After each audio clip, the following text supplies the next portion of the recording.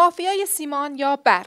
کدام یک عامل افزایش قیمت سیمانند؟ رضا جمارانیان رئیس انجمن سنفی کارفرمایان صنعت سیمان این موضوع را به مافیای سیمان ربط داده بود. اکثر میشه 15 نفر اینا هم کاملا مشخص هستن.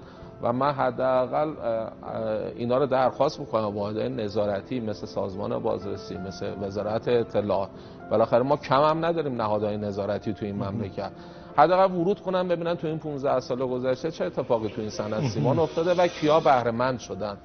روز گذشته اما قایم مقام ستاد تسهیل و رفع موانع تولید کشور قطع برق را عامل اصلی افزایش قیمت سیمان دانست. بابک دین پرست در بازدید از چند کارخانه سیمان در کرمان مهمترین مشکل کارخانه سیمان را قطع برق دانسته. او گفته کارخانه سیمان کرمان به دلیل مشکلات تامین برق اکنون با یک سوم ظرفیت فعالیت می کند. مرزی قاضی زاده کرمانه